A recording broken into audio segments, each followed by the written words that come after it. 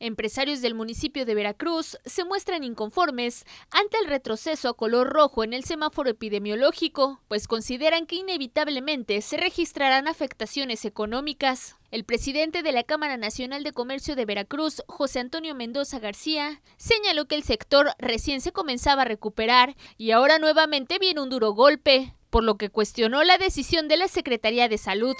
Puesto que se debe de volver a ver cómo estamos viviendo en estos momentos y estamos en una situación bastante crítica.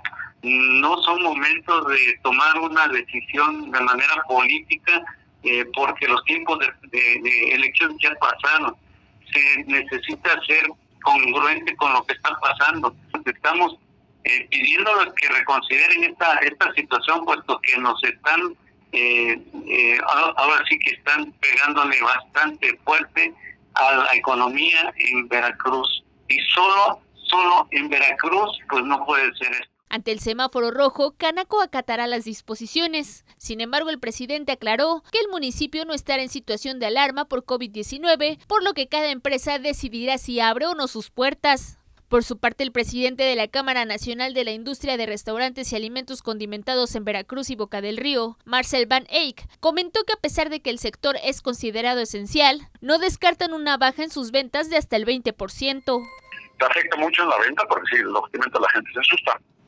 Entonces sí, es, no estamos para nada de acuerdo, pero gracias a los dos municipios, no estamos en, en muy buena comunicación con ellos y ellos después de un año y medio conociendo que nosotros los restauranteros somos pues empresarios muy eh, responsables y que siempre hemos eh, manejado todos los protocolos de, higiene con obviamente el, aforo del 50% y seguimos usando el 50%. Eh, entonces por eso ya nos, nos, nos dejan oportunidad para seguir trabajando.